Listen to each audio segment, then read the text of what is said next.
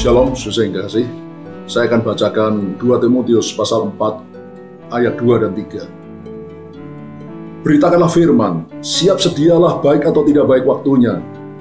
Nyatakanlah apa yang salah, tegurlah dan nasihati dengan segala kesabaran dan pengajaran.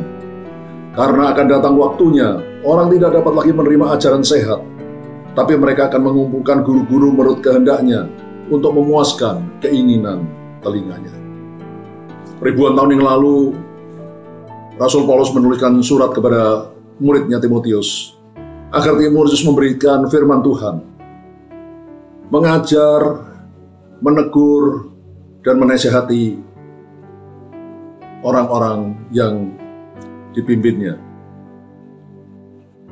Dan Paulus sudah mengingatkan pada Timotius bahwa akan datang waktunya di mana orang tidak dapat lagi menerima ajaran yang sehat.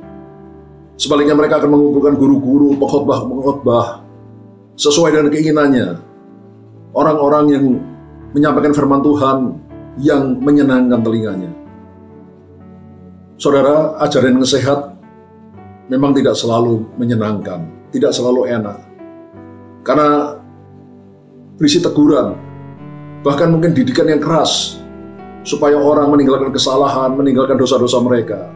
Dan itu tidak enak, saudara.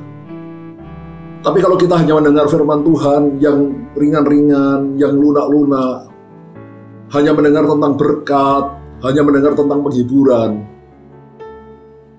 dan tidak ditambah dengan firman Tuhan yang keras, yang berisi teguran, didikan, nasihat yang keras, maka kita tidak akan bertumbuh secara rohani. Alkitab mengajarkan bahwa makanan keras adalah untuk orang dewasa. Kalau saudara ingin bertumbuh secara menjadi dewasa rohani, saudara perlu makanan yang keras. Jangan hanya makanan yang lunak-lunak, yang lembek-lembek saja.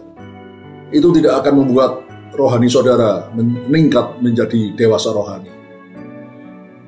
Karena itu saudara, mulai sekarang Janganlah memilah dan memilih firman Tuhan seperti apa yang saudara senangi. Terima semua firman Tuhan, yang enak maupun tidak enak. Simpan dalam hatimu dan lakukan dalam hidupmu sehari-hari. Dan firman Tuhan itu akan mengajar saudara mendidik saudara, sehingga saudara bertumbuh semakin lama, semakin dewasa secara rohani. Tuhan Yesus memberkati. Haleluya. Amin.